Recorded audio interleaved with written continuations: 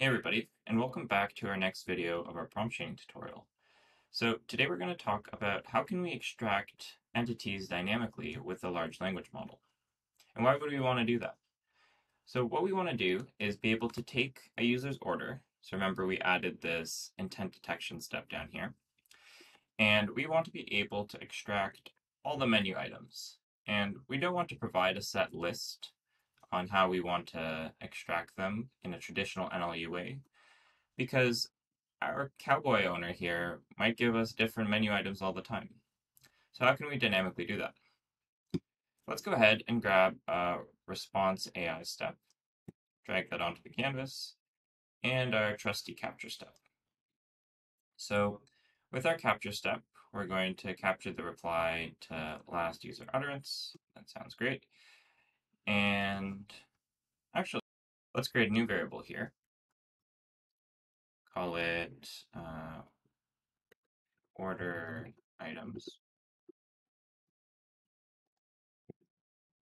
Now we're going to grab order items and we're going to tell our generative model uh, to extract all menu items. Name that on the block and let's write our prompt. So we can say extract all the menu items in order items. And let's have it formatted in, in JSON. So JSON's a standard uh, format that we use for structuring data in various programming languages. So let's say format order items as a JSON array you don't know, what a JSON array is, don't worry about it. Um, we'll just get some nicely structured data, as you'll see. And then let's try to preview this. Let's say I want some smoked jerky, I know how to spell jerky, and an iced tea. Smoked jerky, iced tea, that sounds great. So let's go ahead and run this and see what we get. So we can do a couple of things here. We can either use the response AI step just to print it out, or we can use our set AI step to save it to a variable. So let's just put it into this response AI step to start. So we'll go ahead and hit run. So go through our standard flow. Have on the menu? Just typing that out while our cowboy thinks.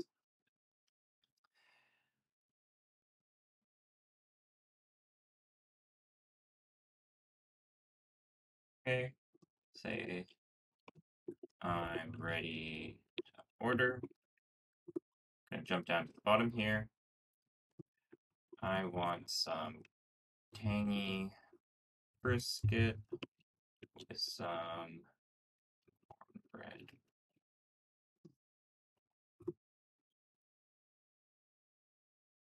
There we go. And then we've printed out what the user wants.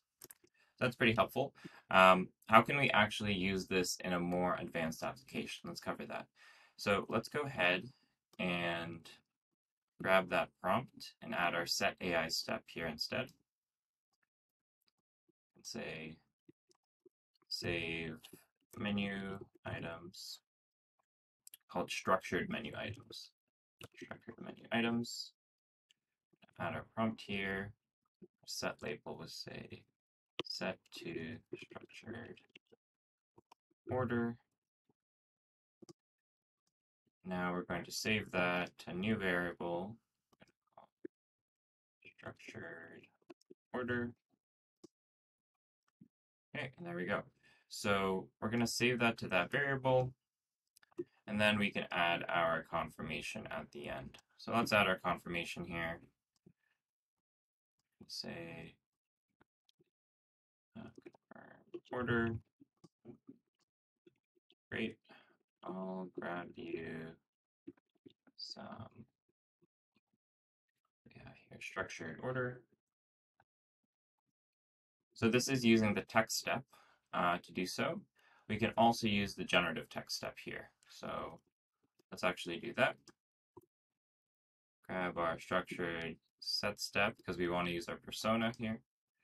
Um, respond to user order. So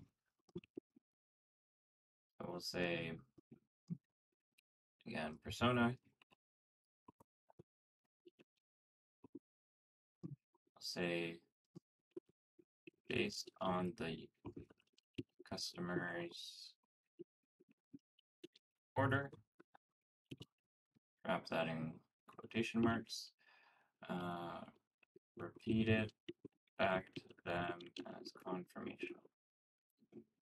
Okay, so let's test that out.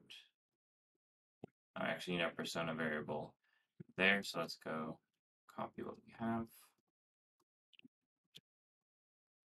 Say preview. You're the owner of Cowboy Restaurant, and we'll say we have brisket and cornbread. Generate. There we go. So here we have it. Uh, we've created our uh, entity extraction where we can grab any menu item that we want to order, save it to a variable, and have our restaurant owner confirm it back to us.